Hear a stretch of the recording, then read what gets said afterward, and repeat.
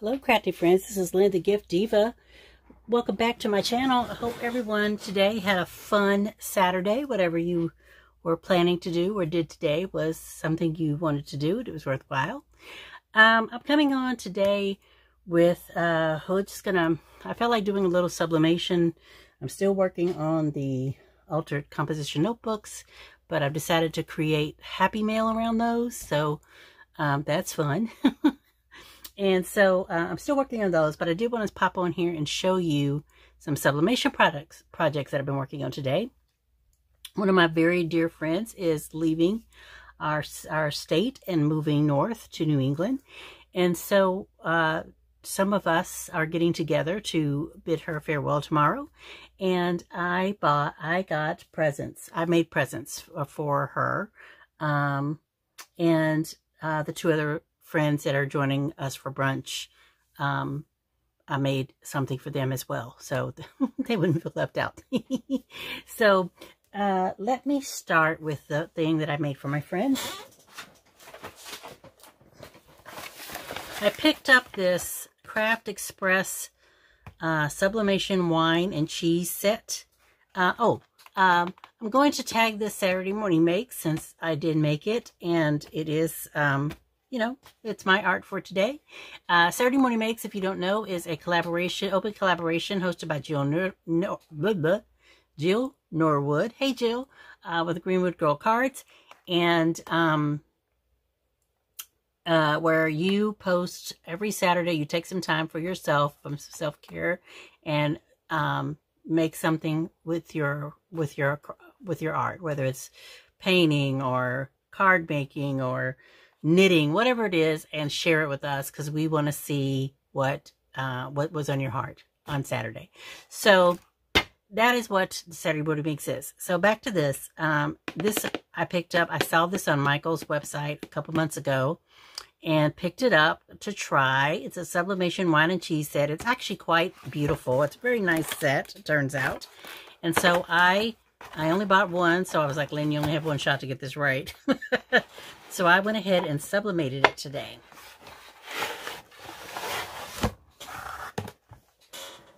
And it turned out so pretty. So this is the cutting board. Isn't that beautiful? Never un underestimate the difference you made. Uh, uh-oh. No. Okay, shoo. I thought I did something wrong. Never underestimate the difference you made or the lives you've touched. Enjoy the next chapter. Isn't that pretty? And she's also engaged. Did I mention that? So she's engaged with married. She's moving to New England just uh, a few years from retiring, just starting life over. So, it, well, a new chapter. And so I'm very excited for her, and I wanted to give her something. So this is the wine and cheese board for her new home. And when you raise the, the board up, you get all the little accoutrement. I have not figured out what this is yet. If anybody knows, leave me a comment. Uh, this is the cheese knife fork, wine thingy, wine stopper. But I don't know what this is. I need to look it up on the internet and see. It looks like a napkin ring, but why would you have just one? I don't know. That's weird. Um, so anyway, this, and it comes in this beautiful um, wood board. So you put that on top, and there it is. Very, very lovely. So she's getting that. And I loved my, I loved the design I created so much. I made her something else. So I went to Hobby Lobby today, and um, I went in there for one thing, and y'all know how it is when you go to Hobby Lobby, you come out with, you know, other stuff. Actually, I went there yesterday, sorry. And while I was there, hold on a sec.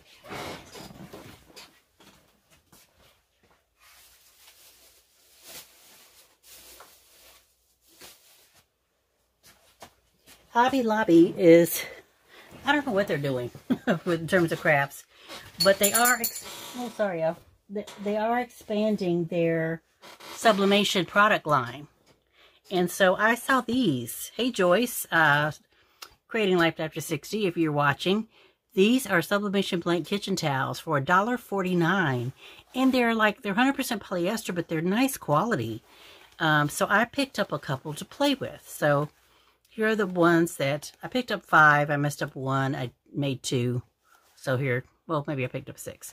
Um, so here are the three that are still blank. And they're really not, they're really, you know, great towels. And they sublimate beautifully, as I'm going to show you.